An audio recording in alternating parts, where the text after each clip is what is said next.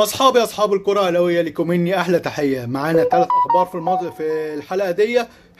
تصريح القندوسي أخبار عن ماتش السوبر واحمد الخبيث واللي بيقول عن مبادئ النادي الاهلي. نبدأ بالقندوسي. القندوسي قال وجود الجماهير يمنح المباريات أجواء خاصة. وقد تعودنا على اللعب في حضور أعداد كبيرة كما حدث في مباراتي الهلال السوداني ولقاء الذهاب أمام الرجاء وسيكون لدينا تركيز كبير خلال اللقاء. بالنسبة لماتش السوبر خلاص الحكم هيبقى مصري لكن ال- الإمارات ما نسيتش تحط ال touch بتاعها وخلت الفار إماراتي آه، عشان ما يحصلش فيه احتواء.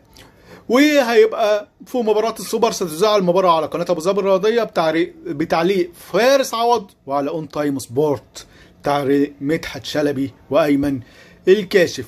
نيجي للأستاذ أحمد الخبيث. أحمد الخبيث كنت أنا قلت من شوية عن خالد الحنقود والتصريح اللي بيقوله عن مبادئ الأهلي و اللي ضد إمام عاشور واللي عمله. نيجي بقى اللي كمان لأحمد الخبيث واللي قالوا عن مبادئ الأهلي وإمام عاشور. بس لازم نفهم كويس إن الناس دي ما تمسكش في مبادئ وأخلاق الأهلي إلا لما يكون لها مصلحة لأنها بالطبع مش هتدافع عن مبادئ الأهلي ولا على أخلاق الأهلي ولا الكابتن الخطيب ولا جمهور الأهلي ولا الزيطه دي كلها.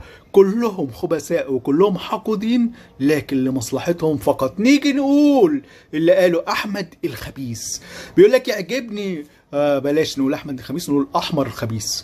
يعجبني وأحترم في الأهلي مبادئه وقيمة وق- وقيمه خاصة في علاقته باللاعبين الذين تركوا النادي دون إذن أو تراضي أو اللاعب الذي أساء لرم- لرمز كبير بالنادي أو ومثبت يعني رمز كريم ومثبت صوت وصورة وعوقب من اتحاد الكرة بسبب ذلك أو اعتدى على وضرب بالشلوت لكابتن النادي الأهلي وليد سليمان في مباراة منقولة تلفزيونيا للعالم كله. لذلك مستحيل أن يقبل الأهلي وجماهيره ضم إمام عاشور إلى صفوفه رغم كفاءة اللاعب وقدراته الكبيرة والمتنوعة الذي التي يحتاجها أي فريق لكن مبادئ الأهلي ومكانة رمز النادي وكابتنه تاريخيا تحول دون ذلك. مش كده ولا إيه؟ لا مش كده يا أستاذ.